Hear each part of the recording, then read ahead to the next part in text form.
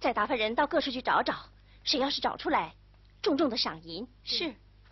三姑娘，我有句话不知道当讲不当讲。都到这会子了，你还拘什么？说吧。这事儿难保有人使坏。昨儿进来的人当中，我看有谁和宝兄弟不和呀？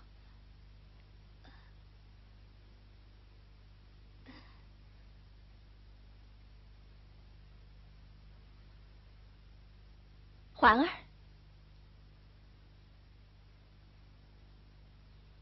难说。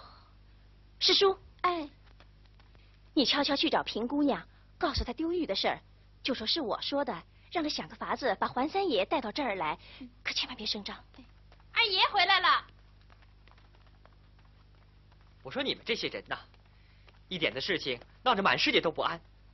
什么老实骨子，我早就不想带他了，丢了正好。你说的倒轻巧，可怎么向老太太、老爷太太交代？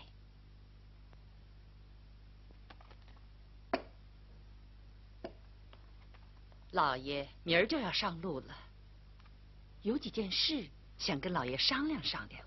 啊，说吧。头一件，宝玉和园子里的姐妹们都已经长大了，总在一起耳鬓厮磨的，难免惹出些闲话来。我想，过了年，先把宝玉给挪出来。嗯嗯。第二件，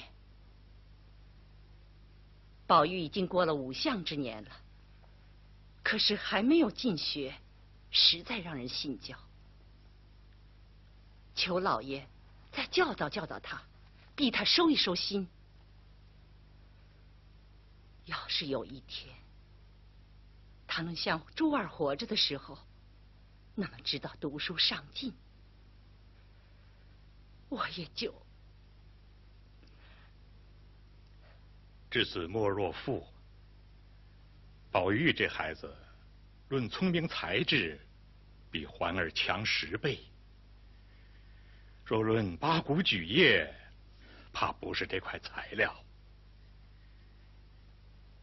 当年。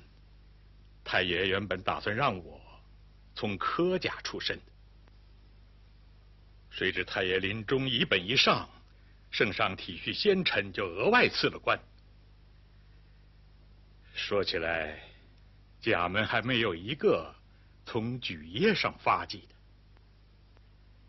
大概这也是甲门的定数吧。可是，你看，昨天在席上，宝玉那两首诗。空灵娟逸，清俊通脱，细品起来还不算十分的玷污祖宗啊。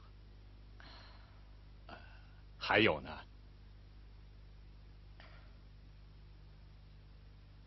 宝玉的亲事也该议了。虽然有老太太做主，可是还想听听老爷的意思。老爷太太府里头风言风语的，说园子里丢了东西。怎么？听说是宝二爷的玉。什么？说是宝二爷的玉丢了啊！来了来了！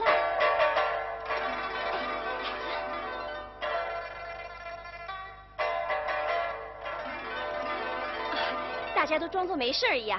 二哥哥，你先到后面去待会儿。三姐姐。哟，是环儿兄弟来了，快到廊子上去坐。你叫我来，是让我入你们的诗社吗？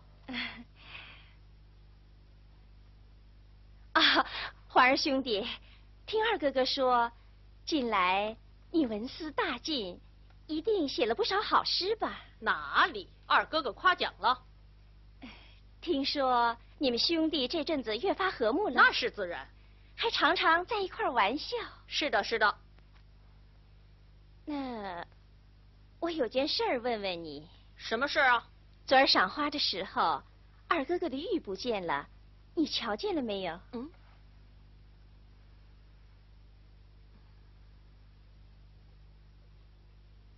原来叫我是为这个。你到底见没见呢？人家丢了东西，怎么三姐姐查问我？难道我是犯过案的贼吗？不是这么说，怕三爷要辞了去吓他们玩，所以顺便问问。他的玉在他身上，要问问他去，我不知道。得了什么不来问我，丢了什么却来问我，呸！哼，三爷别走。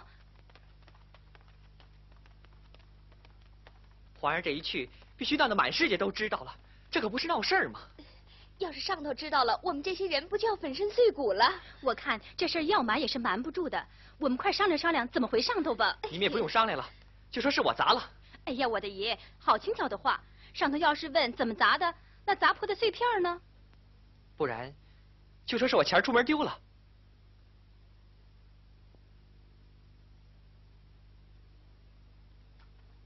不行不行，既是钱儿丢的，为什么当天不回？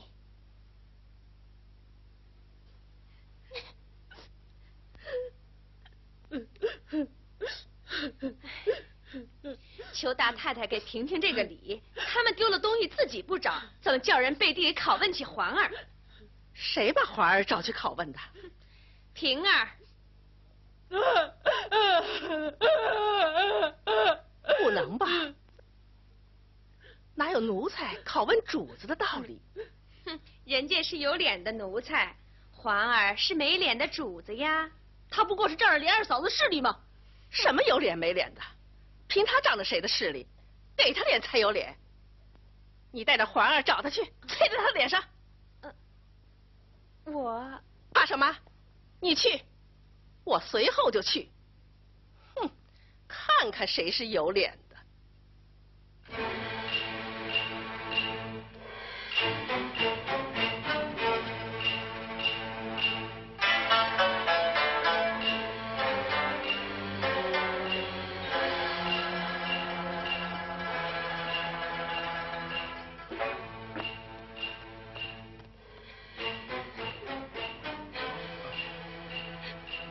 这么说，是真的。这事与他们不相干，是我钱出门丢在外头了。为什么当时不找？我让明烟在外头找来着，我怕他们惊慌，就没告诉他们。胡说！如今脱换衣服，不都是他们伺候的吗？大凡出门连手机荷包短了还要问一问，这玉不见了就不问问。二奶奶来了。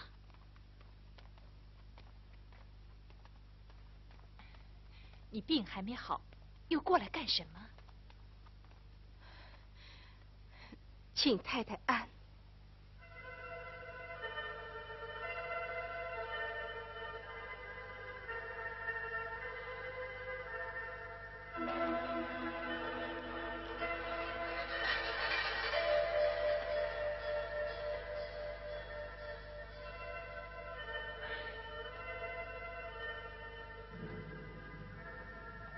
老爷，玉村说明儿一早去长亭送老爷。